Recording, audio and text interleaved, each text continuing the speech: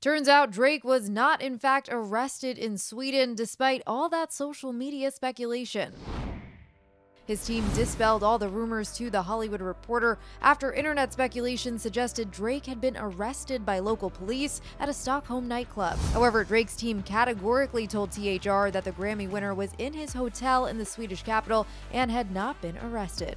As documented in a series of Instagram posts, the Canadian rapper landed in Sweden on Wednesday, flying via his personal baby blue Air Drake. Since he touched down in Sweden, local media reports say the rapper visited the trendy Östermalm district of Stockholm. It's unclear whether the rapper is in Sweden to record music or for personal reasons. Elsewhere on Wednesday, Drake revealed details of a music festival in his hometown in Toronto later this month. The rapper's October World Weekend is set to take place July 28th through August 1st, with a lineup including a Young Money reunion featuring Lil Wayne and Nicki Minaj, as well as appearances from Lil Baby and Chris Brown. For the latest on this story, head to thr.com. And for the latest entertainment news and updates, keep watching the Hollywood Reporter News.